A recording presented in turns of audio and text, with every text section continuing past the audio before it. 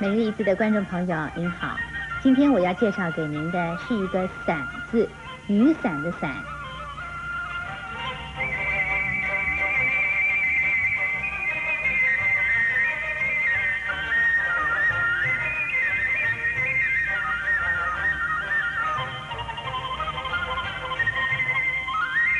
伞字的国语注音是“思俺伞”，三声伞，伞。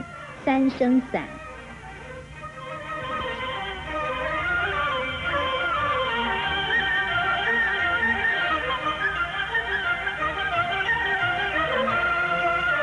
伞是遮雨遮阳的器具。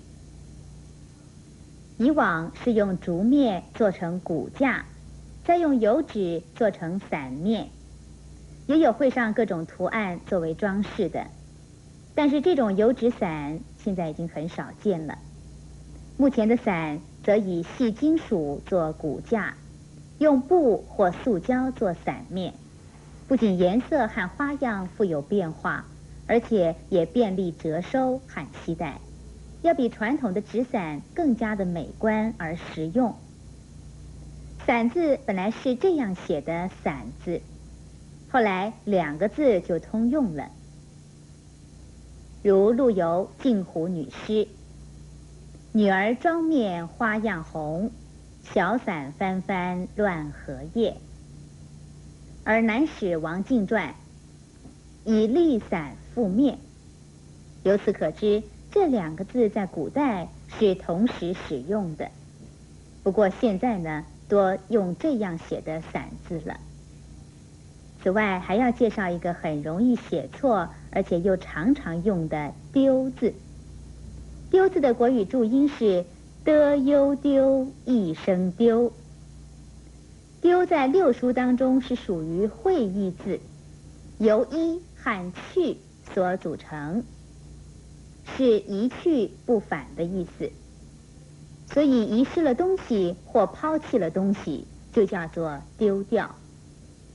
失去体面叫丢脸或丢人现眼，用眼睛暗示就叫丢眼色。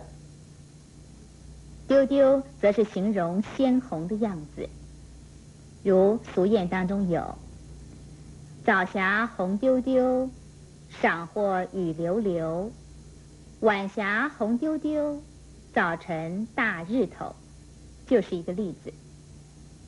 最后要说明的是，“伞”字应该是写成五个人字，但是有许多人不注意，会把“十”字上面和左右各写两个“义”字，而写成这样的“伞”，这是不正确的。